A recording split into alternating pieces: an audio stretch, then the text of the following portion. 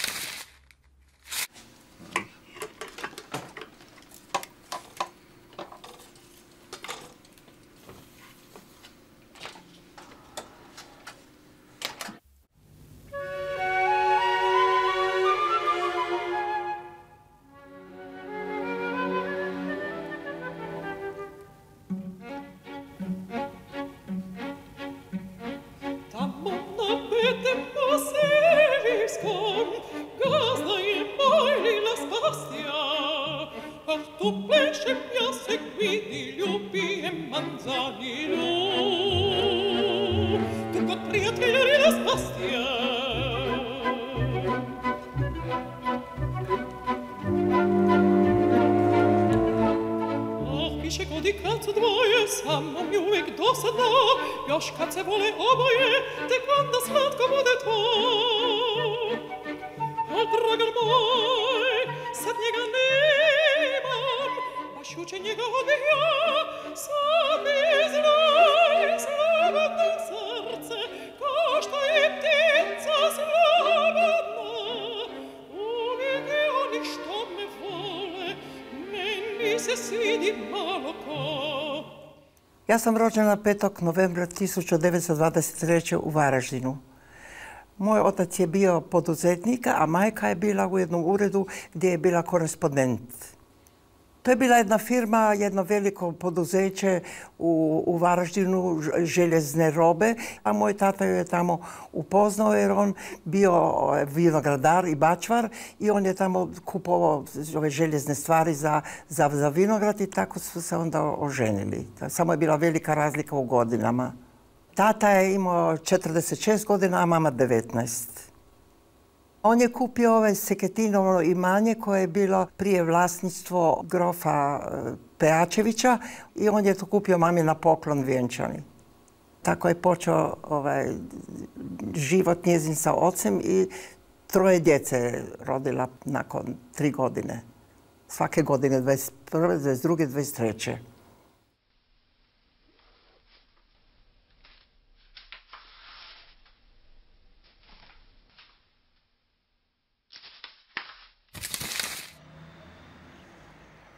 U Varaždinu smo živjeli najprije u Aninoj ulici gdje u jednoj vili sam ja rođena, a moj otac se onda odlučio za ovu baroknu palaču.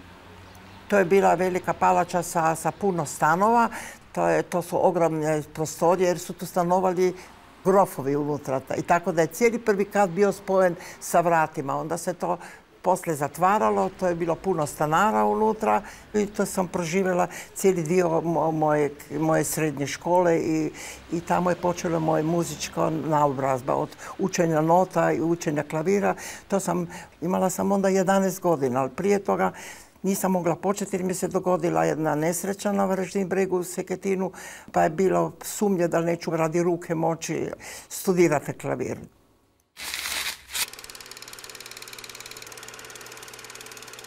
Onda sam otišla u Zagreb na, na studije. Htjela sam opet samo glasovi. A nekako mi nije, nije išlo mi nekako te, te, te glasovi. Izgleda da nisam imala dovoljno talenta, a onda sam se kasnije preselila u, u Zagrebački, to onda je bio onda konzervatorij prije muzičke akademije.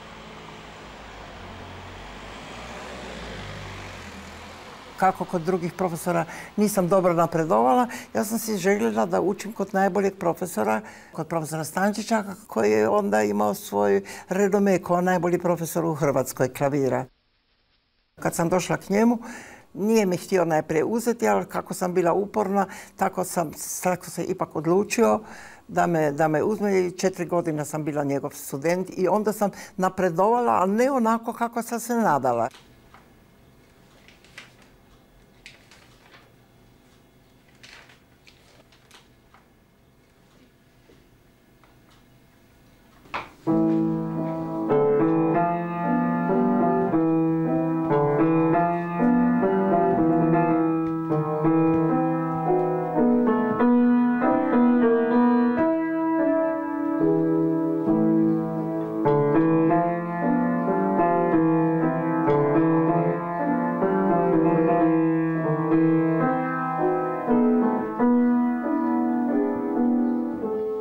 Imala sam običaj kad sam vježbala da sam uvijek malo pjevušila.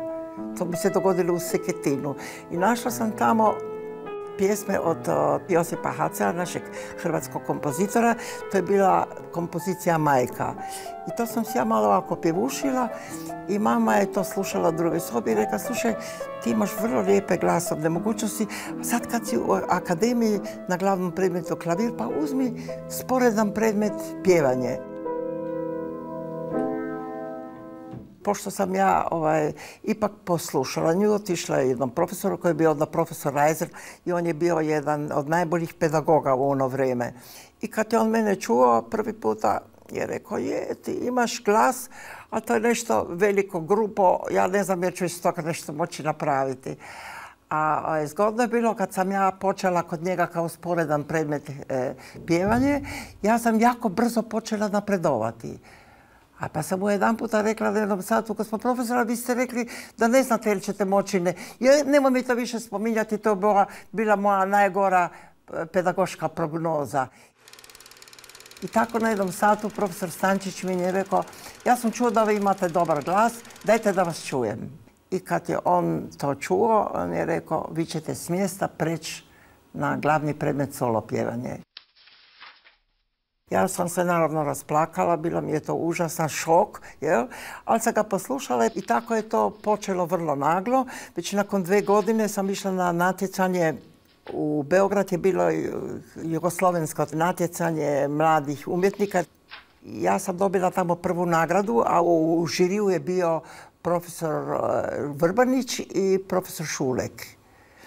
I onda je rekao profesor Šulek, profesor Vrboniću, daj se prihvatite male, ako bu ovako se derala, bu brzo izgubila glas.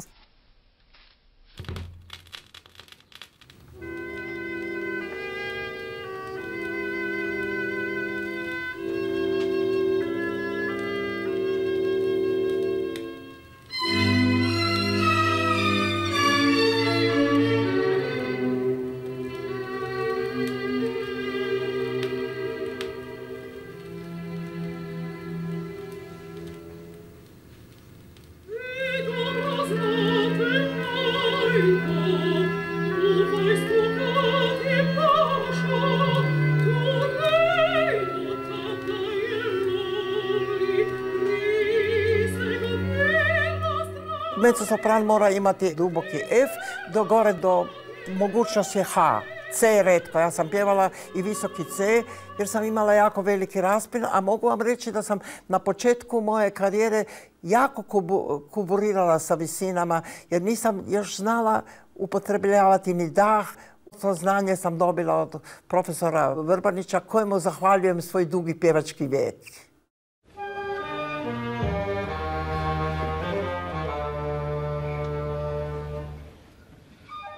I onda na jednom ovaj, jednoj produkciji muzičke akademije, kad sam pjevala duet iz Aide sa Noni Žunecom, onda me čuo direktor Saks, to je bio jedan najbolji direktor uz Mladena Bašića, koji je bio onda direktor opere. I on me pozvao još kao studenticu zadnje godine na audiciju. I kad me na to odici čuo, onda mi je dao jednu ulogu, ali pošto je onda bila zabrana od Ministarstva prosvete, nisu smjeli studenti opće nastupati javno. kao studentica, imala sam sve probe, pripremila sam te uloge i u 11. veljače te godine kad sam diplomirala, 1949. je bio moj debi u Suzaniju od Glinke gdje sam dobila jednu vrlo zahtjevnu ulogu, nije bila glavna, ali je bila vrlo zahtjevna uloga za, za početi e, rad u jednom tako velikom kazalištu kao što je bila Zagrebačka opera.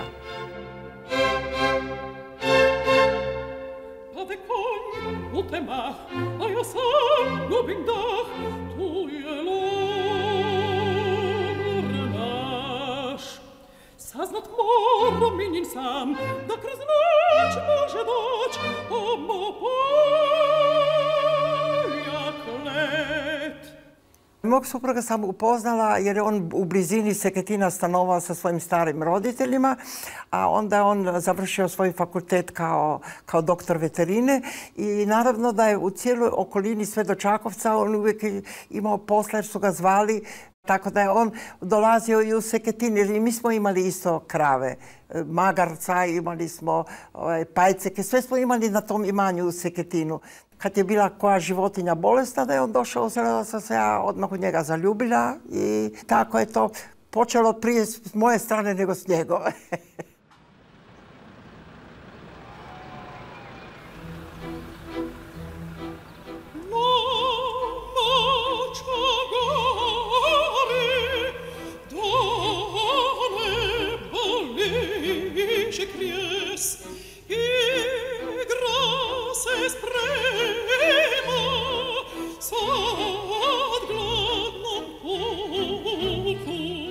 Moj početak u HNK je bio najprije sa malim ulogama, a prva velika uloga mi je bila u korabiljnom plesu uloga Ulrike. Tako da je to sve počelo postupno. Nakon dve godine sam dobila Asučenu u Trubaduru, a nakon tri godine sam dobila ulogu Amneris, tako da sam, moj početnički program je već bio ispunjen sa vrlo značajnim ulogama.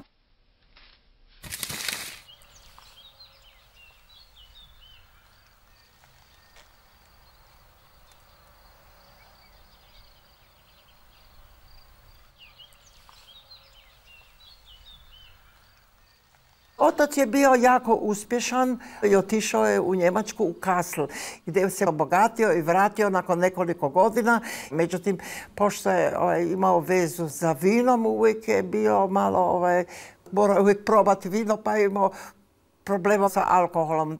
Dok je obolio, onda se to počelo sukcesive prodavati, tako da nam je ostao samo Seketin i Palač u Varaždinu. Moj otac je umro kada sam imala 15 godina i moja majka je onda preuzela. Ona je morala, jer smo imali veliki vinograd od šest jutara, to je to ona uzorno vodila, tako da kad smo mi bili u Varaždinu u, u školi, ona je svaki dan pješice išla u Seketin. To je 10 kilometara. I na večer se vraćala u Varaždin k. I ujutro rano opet otišla jer imala po 40 radnika. Tako da moram zahvaliti zapravo mojoj majici koja se žrtvovala, koja, koja nam je to održala.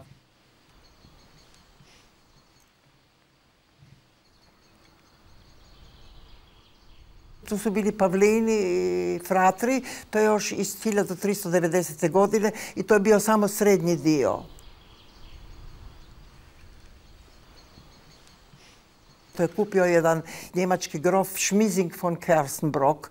To mu se jako sviđalo, a njegova žena grofica, talijanska grofica Suini, i njoj se nije sviđao taj srednji drveni dio i onda su počeli oni to uređivati.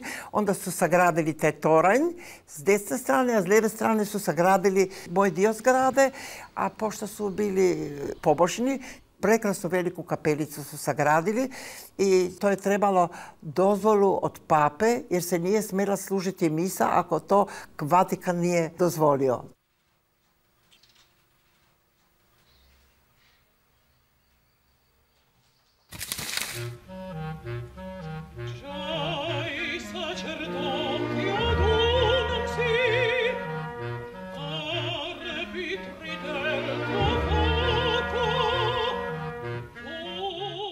Već je nastupila osma godina mog angažmana u HNK, a moj kolega Neralić, On je bio već dugo godina angažiran u Berlinskoj operi.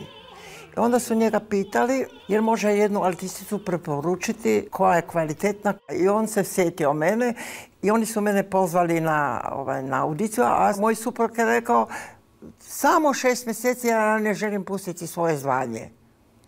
I tako kad sam ja došla na tu audiciju, ja sam jako uspješno to položila i rekla sam, ali ja želim samo potpisati ugovor na šest mjeseci. I onda su rekli, nažalost, mi imamo samo interes za petogodišnji angažman i ja sam se vratila u Zagreb neobavljena posla. Oni su se odlučili za jednu artisticu i međutim su bili s njom jako nezadovoljni i pozvali su me opet na audiciju, drugu. I naravno opet mi nije uspjelo da uzmem šest mjeseci i onda sam potpisala ugovor na, na pet godina odmah, tako da ali moram to reći što mi je Neralić rekao da je ovaj intendant koji me angažirao, rekao to je svjetski glas, angažirat ćemo ju.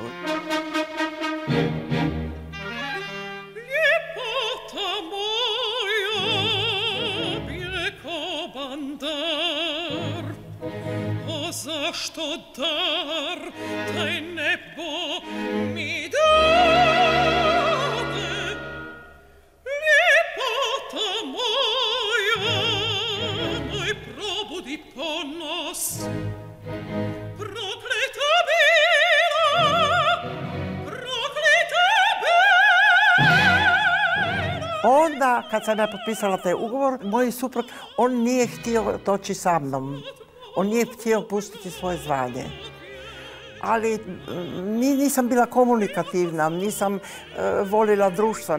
Trebalo je doneti neke odluke koje si nisam mogla sama i onda se on odlučio da mi pomogne. Jer netko mora biti žrtva. To je bio moj suprug koji tako da mi je bilo puno puta žao što nije mogao ovaj, provađati svoju, svoju profesiju koju je jako volio i bez njega ne bi mogla egzistirati u, u inozemstvu. Sigurno niti imati bilo kakav uspjeh jer to, to je bilo puno problema, e, odluka. On mi je savjetovao kad sam dobivala posle te, te ponude šta prihvatiti, šta ne prihvatiti, kud ćemo ići. svugdje smo putovali zajedno.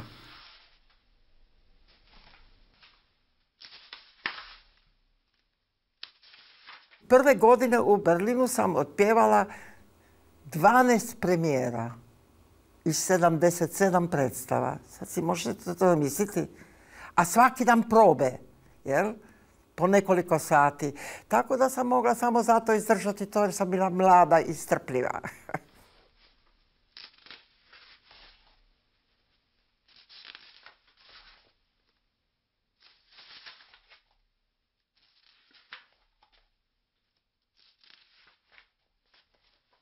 onda je Berlin bio zatvoren grad. Tamo su bili Amerikanci i Rusi i tako da nisam imala nikakve mogućnosti da bilo gdje, kad sam dobivala sjajne ponude od raznih velikih teatra svjetskih, od, od rimske opere, od milanske skale, od kolon teatra u Buenos Airesu, tako da nisam nikud mogla ići, a već sam otpjevala taj cijeli repertoar u Berlinu. Oni su me, moram priznati, jako iskoristili, jer kad ste kao mladi pjevač, kad dođete na jednu ovakvu veliku operu, onda vas iskoriste do daske.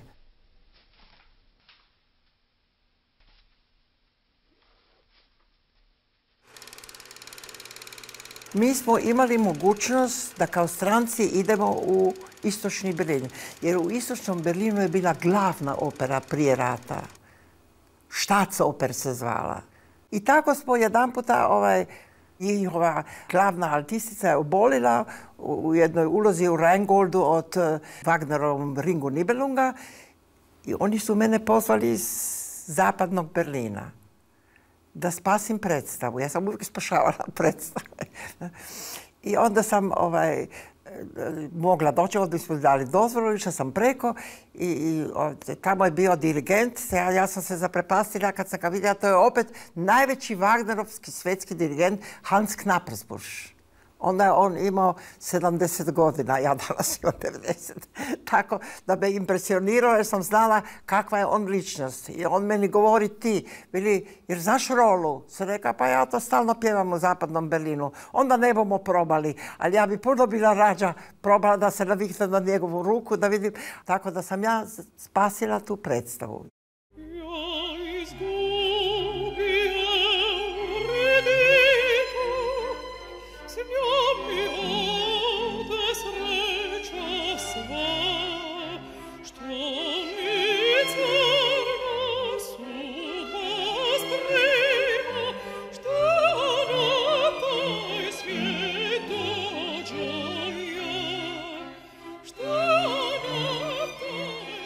Strašno sam se željela cijeli život naučiti voziti. I sad sam se ja, kad sam bila, bila u Berlinu, ja sam odlučila da moram naučiti ovaj, voziti. I onda sam išla u autoškolu i najsretnija sam bila kad sam dobila ovaj, vozačku dozvolu.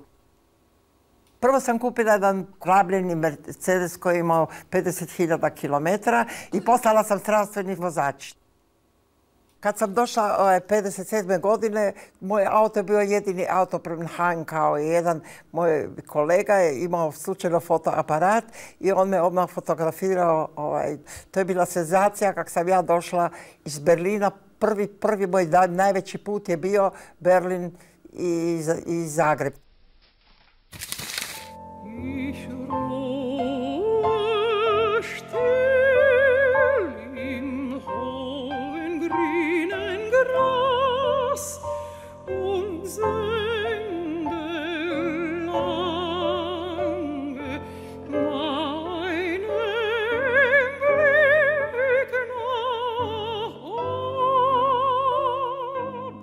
Kad sam bila u Berlinu, ja sam pjevala tamo sa najvećim dirigentima svijeta, sa, sa Vittorio Gujom, sa Robertom Rede. To je bila jedna cijela ekipa najboljih svjetskih dirigenata i koji mi su uvijek nešto nudili. Nudili su mi Frankfurt, jako dobre uvjete, duplo bolje nego u Berlinu. I onda sam mislila na mog supruga da će imati mogućnosti i tako sam se odlučila i to sam jako pogrešila. Ja sam tamo imala trogodišnji ugovor, a opet je tamo bio jedan veliki napor jer, sam, jer su se uključivali razni teatri kao što se uključio Kassel i oni su me angažirali za 30 aida u jednoj sezoni. I čudo da sam opće to izdržala. To znači dva puta tjedno sam imala predstavu u Kaslu. A Matačić, moj nije prijatelj, nije, nije, nije prijateljski način bio, on mi je svaki puta kad sam imala u Kaslu predstavu, napravio probu do 12 sati. Mene čekao Mercedes pred teatrom. Ja točno 200 km sam vozila do Kasla. Predstava je završila u pola 11. U 11 sam je već sjedila za volanom i u pola dva sam već bila u krevetu u Frankfurtu jer me drugi dan čekala već proba u 10 sati. Onda sam obolila, imala sam neke poteškoće zdravstvene i onda više nisam, imala, nisam produlila ugovor u Frankfurtu i onda sam se vratila u Zagreb. Naravno da su me odmah angažirali i onda je počeo moj, kao što je bio moj početak u Hard tako bio i moj drugi dio moje karijere, završetak.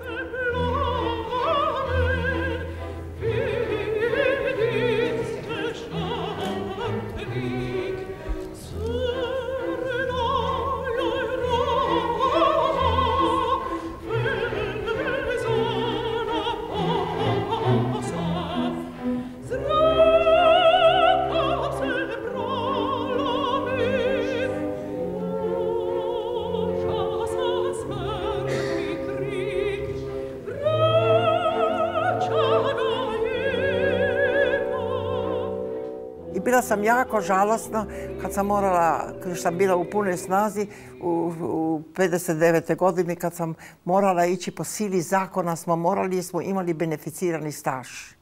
Onda su mi ponudili još neke uloge posle, ali ja više kad sam rekla dosta, više nisam htjela ići u kazalište. Tako da sam ja samo išla onda u kazalište koju predstavu, a sad već godinama ne idem u kazalište. Ne, ne volim ići niti onim putem gdje je Hrvatsko narodno kazalište, jer mi je ostao jedan gorki okus u, u, u ustima.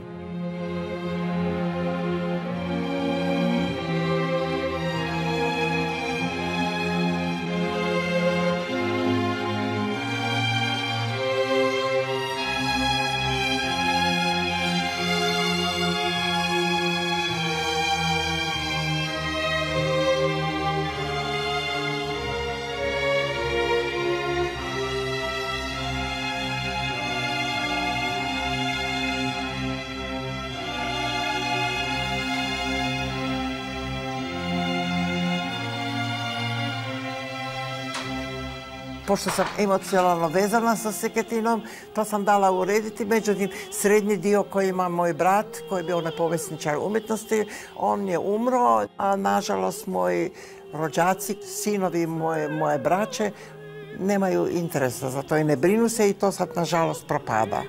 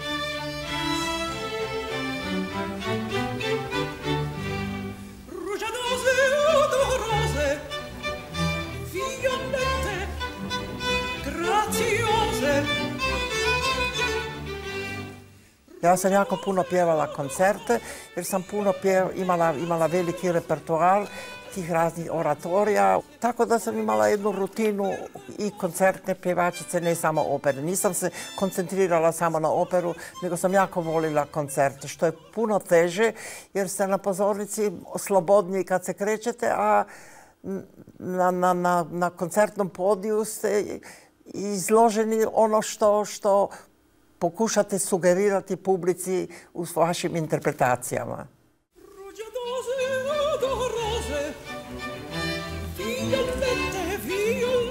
graziose rugiadose odorose violette violette graziose violette graziose